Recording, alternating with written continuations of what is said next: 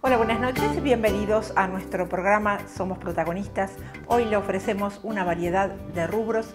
Estuvimos en primer término en la Federación Gremial del Personal de la Industria de la Carne y sus derivados. Hablamos con su secretario general.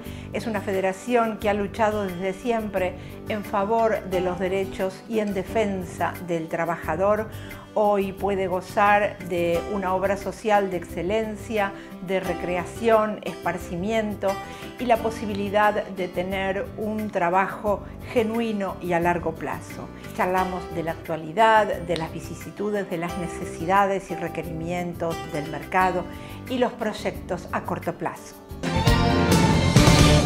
Volvemos a estar nuevamente en la Federación Gremial del Personal de la Industria de la Carne y sus derivados. Nos vuelve a recibir su secretario general, ya conocido por, por, ustedes, por nuestros televidentes, el señor José Alberto Fantini, más conocido como Beto Fantini. ¿Cómo está Beto? ¿Todo bien? Bien, bien. Por Gracias por recibirnos después de un año más o menos, año y medio de no tener novedades tuyas. Año, largo. Año largo. Vamos a hacer llegar a la gente un poco la actualidad del gremio, qué está pasando tanto interna como externamente.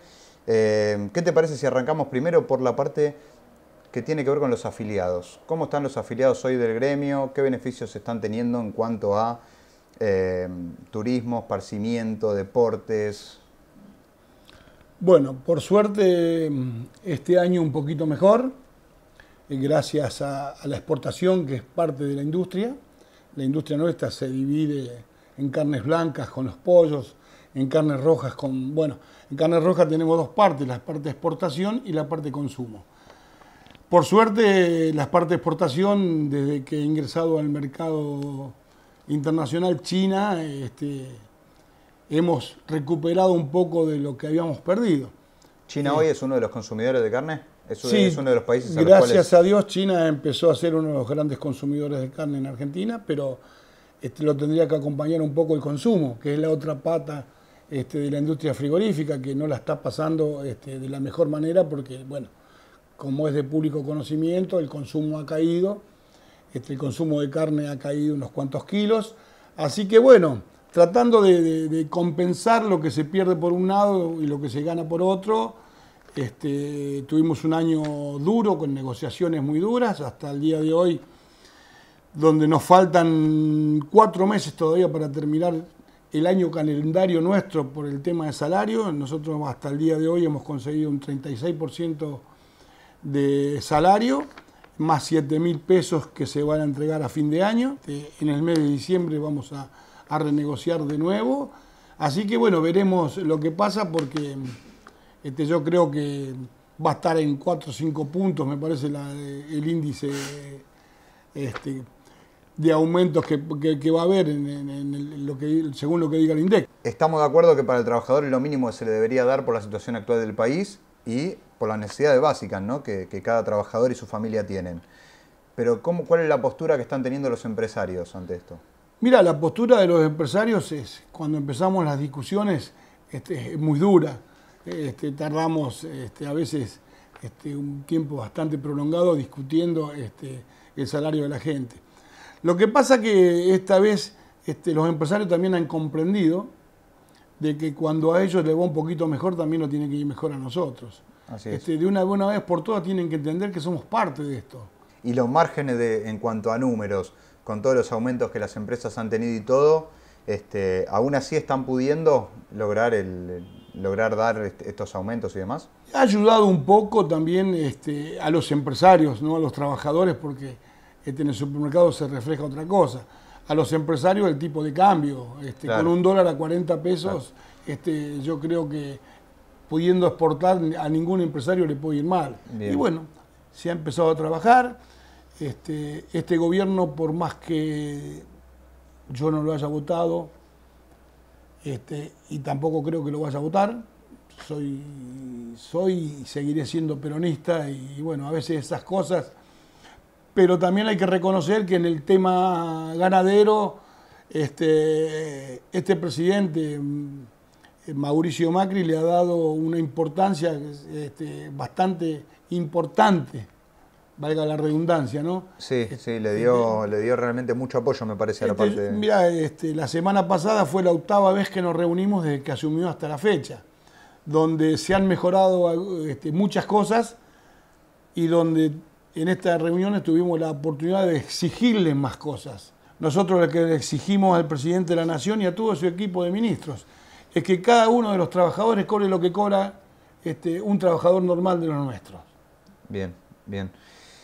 Beto, vamos a hablar un poco de exportación. ¿A qué, mercados estamos mandando? ¿Hoy solamente al mercado chino? No, no, hay, muchos mercados abiertos.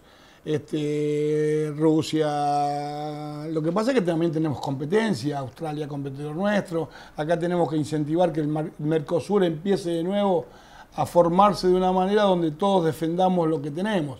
Porque años atrás este, Argentina había perdido, éramos menos que Uruguay, que Paraguay, y, este, y eso duele. Donde, donde, todo el mundo nos dice que tenemos la mejor carne del mundo. Eso te iba a preguntar, ¿no? Porque la, carne argentina es reconocida a nivel mundial.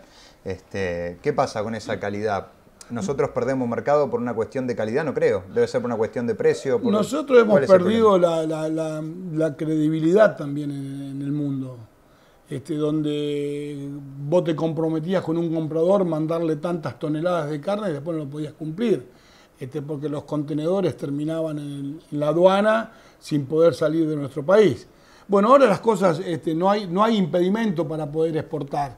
Lo que pasa es que hay que recuperar la confianza. Exacto. Bueno, todas estas cosas se están haciendo. Yo estoy acompañando a los empresarios este, a todas las ferias que se hacen en el mundo y veo cómo, cómo se mira la carne argentina cómo se desgusta, este, ve que la gente aprecia esto. Y ahora ha empezado a ser creíble de nuevo. Lo que pasa es que también necesitamos más, más cabezas de ganado para, poder, cumplir. con la demanda. y, hay un país que también le exigimos al presidente que aproveche el G20 este, para pedirle a Donald Trump, este, porque Argentina incluso le ha ganado un juicio a Estados Unidos porque hace 5 o 6 años que tendrían que estar comprando la carne argentina y no han cumplido con eso.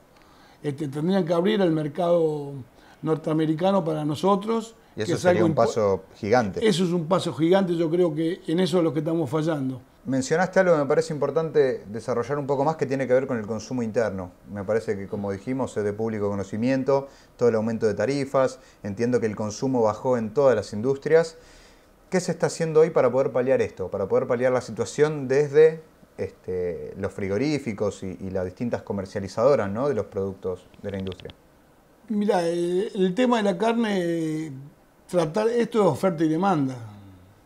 Cuando la gente este, deja de consumir un poco, la, tiende a subir. Exacto. Si se compraría más, lo que pasa es que bueno, el poder adquisitivo de muchísima gente se ha, ha caído también, este, no se compra como se compraba antes. Este, nosotros esperamos este, con muchas ansias que la gente empiece otra vez a consumir y para eso necesita que el país empiece a caminar de nuevo. Nosotros vemos que económicamente no nos ha ido bien y nosotros tenemos bastante problemas con las carnes blancas este, esperando que, bueno, que, se, bueno, porque se ha bajado el IVA para poder trabajar. Hay un montón de medidas que están pidiendo los empresarios, eh, que algo le ha dado el gobierno también, y esperamos que este, también se vea este, el trabajo de su gente. El trabajo en, los pollos es, eh, eh, es difícil, es un trabajo muy repetitivo, la gente nuestra contrae muchas enfermedades. ¿Por qué contrae las enfermedades del mismo animal? Mirá, este, nosotros, yo gracias a Dios tuve la, oportunidad que me dio mi trabajo, estar en la federación, de recorrer, de recorrer gran parte del mundo visitando frigoríficos y hablando de todo esto. Y hay cosas importantes, la salud de nuestra gente, este, nosotros hemos conseguido en el gobierno anterior que la gente de los, de los pollos se jubile 10 años antes. Por el trabajo que, que, hacen, el trabajo, porque pasan miles y miles de pollos por hora. Es un trabajo realmente este, engorroso, repetitivo, este, la gente, casi la mayoría se termina operando del túnel carpiano, este, contrae muchas enfermedades. ¿Cómo se refleja todo esto, Beto, en, la parte interna del gremio, en los beneficios que el afiliado recibe? Estamos acercándonos ya a fin de año, de hecho falta menos de un mes ya para lo, que sería Nochebuena, para Año Nuevo. Este, ¿Cómo nos encontramos hoy internamente? Bueno, este, el gremio, está, bien, no está como quisiéramos nosotros, porque nuestra gente se merece mucho más. ¿Qué pasa con los afiliados hoy? ¿Están en cuanto a beneficios? ¿En cuanto al verano? ¿Hay colonia? Están, ¿Van a recibir este, las cajas navideñas? Mira, casi todos los, sindicatos eh, trabajan en eso. Este, se reparte siempre caja navideña. Cada, cada sindicato lo hace este, de una manera distinta. Eh, repartimos útiles. Este, tenemos este, el hotel de Carlos Paz, el hotel Mónaco de Villa Carlos Paz, el hotel Normandí eh, que lo tenemos en Miramar Después tenemos, este, estamos terminando, vamos por el tercer piso de una colonia que estamos haciendo en la ciudad, de, en Córdoba, que es en eh, Río Ceballos, provincia de Córdoba. Estamos haciendo un hotel más. Así que, bueno, para que todos nuestros afiliados puedan, este, de una manera o de otra, este, sus vacaciones, bueno. Y cada sindicato, bueno, su camping. Este, yo también soy secretario general de Rosario, estoy terminando un camping en Victoria, en Entre Ríos, para nuestros trabajadores. Este, festejamos el Día del Niño, el Día del Trabajador de la Carne. Yo creo que a todos, este, si a nosotros no va bien, yo creo que tratamos de, lo que lo va bien a nosotros, repartirlo con la mayoría de nuestra gente. Que esa es un poco la, idea y la esencia ¿no? del sindicalismo. Y yo creo que Mira, este, muchos de nosotros llegamos acá quejándonos de que esas cosas no nos llegaban. Este, no podemos cometer el mismo error este, que cometieron algunos de los otros, que por eso llegamos acá. Este, si lo prometimos tenemos que cumplirlo, vamos a tener que cambiar la cara. Nosotros habíamos perdido muchísimos espacios, hemos recuperado todo, estamos actuando el CGT 62, en todo lo que creemos que, tenemos que estar, estamos. A nivel internacional estamos en una cadena de alimentación este, que es la CASIA, donde hay un montón de gremios que pertenecemos. A nivel mundial la UITA, que, estamos todos los gremios de alimentación ahí este, dialogando, viendo lo que pasa, este, analizando todas las cosas y trabajando. La gente de la carne es trabajadora y se merece un montón de cosas más que ojalá que los dirigentes le podamos dar. Bueno, por suerte de, tu mano y de tu equipo, este, sin duda están, me parece. Este, sí, sí, sí, estamos trabajando. Ahora mm, tenemos este, la semana que viene elecciones en nuestro gremio a nivel nacional. Antes de ir a las elecciones, antes de, que hablemos de las elecciones, vamos a hablar de un tema que me parece importantísimo, incluso para los afiliados, que tiene que ver con salud. ¿Cómo se encuentra hoy la obra social del gremio? Desgraciadamente uno no puede decir este, al gremio le fue de una manera y a la salud le fue de otra. Desgraciadamente pues no depende de nosotros. En los tiempos de crisis lo primero que hace un empresario es dejar de pagar este, su sindicato, la federación y a la obra social.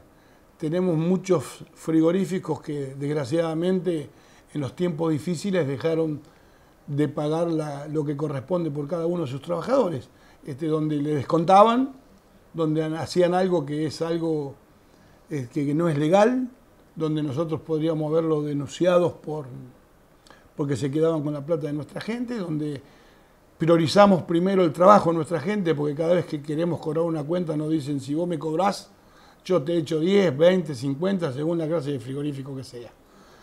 Y eso lo, vivió la obra social, lo vivió, desgraciadamente lo vivió, este, pero siempre algún genial tenemos para nuestros afiliados. Este, le, hemos dado, le hemos dado trabajo este, a, todos los, a todos los afiliados, este, le hemos dado, aunque sea algo de lo que les corresponde del programa médico obligatorio. y estamos por un camino de tratar de recuperar todo lo que hemos perdido. Bueno, bien, bien. Ahora sí, eh, me parece un, buen tema para cerrar que tiene que ver con las elecciones que, bien dijiste. ¿Van a ser ahora el 16 y 17 de este mes? 16 de diciembre, perdón. en diciembre, sí, en diciembre. Este, 15 o 16 o 16 17. Este, se hace en el hotel nuestro de Villa Carlos Paz. Uno sabe que no toda la gente está conforme con lo que uno hace, pero la mayoría sí. La mayoría, bueno, ha apostado de nuevo a que yo lo conduzca Así que para mí es un honor.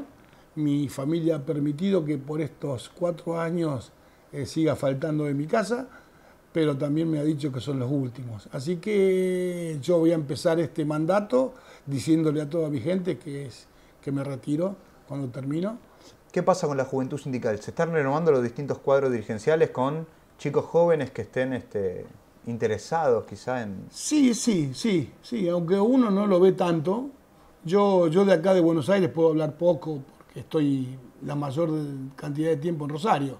Pero en Rosario tenemos una juventud que tiene ganas de trabajar, que tiene ganas de hacer cosas. Yo tengo una comisión directiva donde hay un promedio de año muy bajo, así que tengo mucha juventud y bueno, ya empecé a apostar a los jóvenes que son los que van a ser el futuro de mañana. Sin duda, sin duda, para mantener los ideales, la, esencia del sindicalismo y, y, poder... Y seguir siendo peronista. Exactamente, exactamente.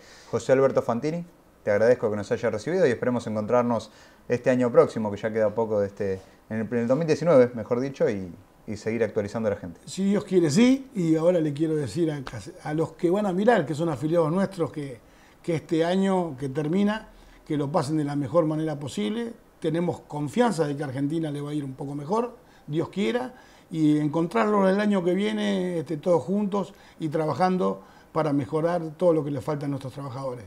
Feliz año para todos también.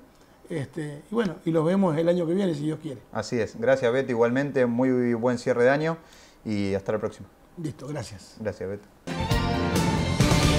Federación Gremial del Personal de la Industria de la Carne y sus Derivados. Hipólito Yrigoyen 746, Capital Federal. Teléfono 4331 6781.